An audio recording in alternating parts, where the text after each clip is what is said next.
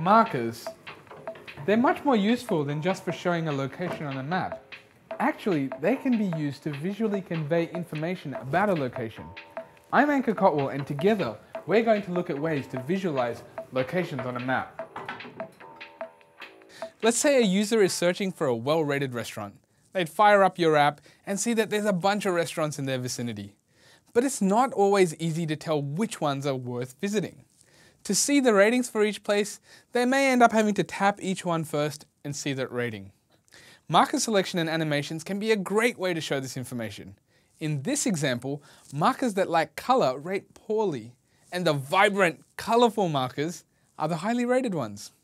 There's also animated steam on some of these markers, helping to highlight the best rated restaurants. To achieve this animation, we're changing the marker icon by calling set icon periodically. To desaturate the marker icons, we're also using a color matrix color filter from the Android framework.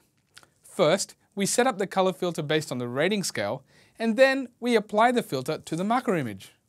Now, markers are great for showing points on a map, but sometimes you can just have too many.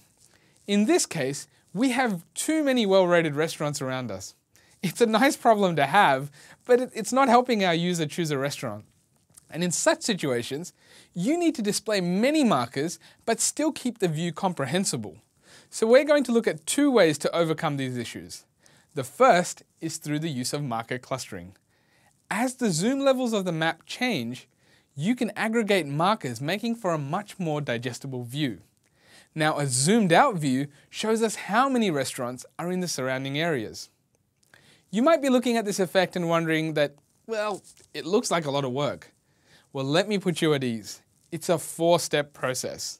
Step one, add the library to your Gradle config. Step two, add the get location override to your main data class. Step three, instantiate the cluster manager and register it for a couple of map listeners. And finally, step four, replace your marker management code with calls to the cluster manager. It will manage adding and removing the markers for you. Seriously, that's it, four steps. You can optionally customize it further by providing custom aggregate markers too. Let's look at the second method to show marker aggregation. I reckon it looks really cool. Heat maps. Here we're replacing a count of markers with a heat map to show the concentration of these markers. How cool does that look? Achieving this effect is also just four steps. One, add the library. Two, instantiate a heat map tile provider. Three, pass it your lat longs. And four, use it to create a map overlay. That's it. You can optionally customize this further by specifying the gradient and the radius of the heat map too. So just remember, information overload is a common problem with mobile apps. Location apps in particular suffer from poor user experiences when dealing with lots and lots of information. Markers, clustering, and heat maps offer beautiful visualizations, enabling you to build amazing maps. The Android Maps Utils library provides easy to use implementations for marker clustering, heat maps, and even more. So be sure to check it out right here. I'm Ankur Kotwal and I look forward to seeing your amazing maps.